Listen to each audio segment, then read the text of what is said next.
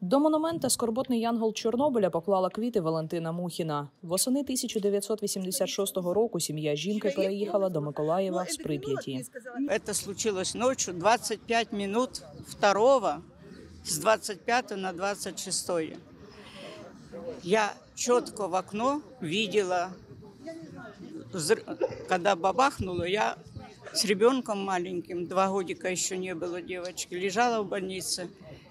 И окна больницы выходили на станцию. Ну, там километр с лишним до станции. всё.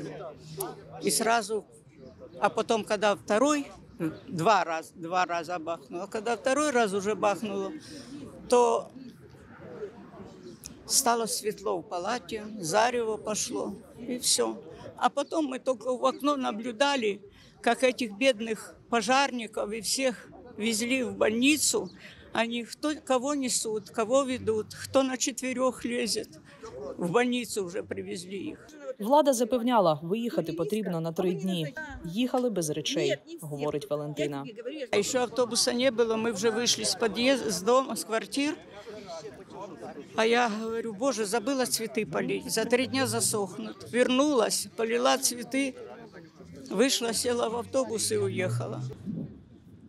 Щороку вшанувати пам'ять загиблих в результаті аварії на атомній станції приходить ветеран пожежної служби Олександр Савченко. До ліквідації наслідків чоловік із колегами долучились восени 1988 року. Ми в пожежній частині номер 2 працювали по охороні станції прямо через дорогу від станції була пожежна частина. Ми там е, несли службу караульну.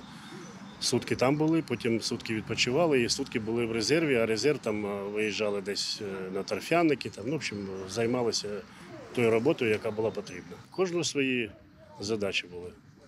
Ну, я так е, міркую, що про гроші ніхто не думав, думали про захист. Ну, скажімо, от, фанатизму такого не було, що от ми патріоти, ми там от, герої, і все. Робили свою роботу і все. До меморіалу скорботний янгол Чорнобиля присутні поклали квіти. На захід зібралось 50 людей. Валентина Гурова, Юлія Філімон, Суспільне новини, Миколаїв.